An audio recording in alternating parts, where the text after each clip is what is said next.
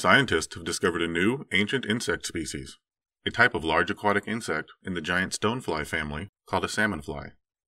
Recently unearthed fossils from China suggest these creatures were crawling around at least 165 million years ago, moving back the time salmonflies were thought to have diverged from their other stonefly cousins, and suggesting other dates may be incorrect in our understanding of insect evolution.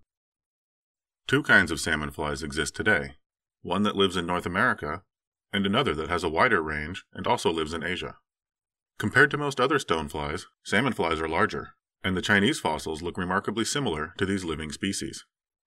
To confirm the identity of the fossilized species, and understand its relationship to its living relatives, a team of international researchers made detailed comparisons of the wings and other body parts.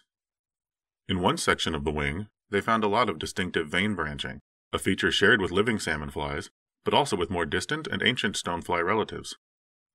Another area of the wing had a prominent first cross vein, allowing researchers to assign the fossil to a large group of systellognathan stoneflies. Additional branching in a part of the wing close to the insect's body suggested the fossil is more closely related to the more wide ranging living species. But unlike that salmonfly, the fossil is missing some key cross veins. This feature indicates the fossil is not only a new species, but also a new genus. Additional analysis of the male salmonfly's genitalia suggested the fossil is an intermediate between the North American insect's two lobed plate system and the wider ranging species' three lobed plating, confirming the placement of the new genus on the stonefly's evolutionary tree. Before this discovery, no salmonfly fossils had ever been found, so scientists thought they might have diverged rather recently.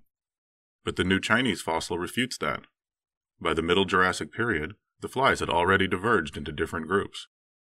More work similar to this detailed analysis should reveal other surprises in the geologic history of stoneflies and other insects.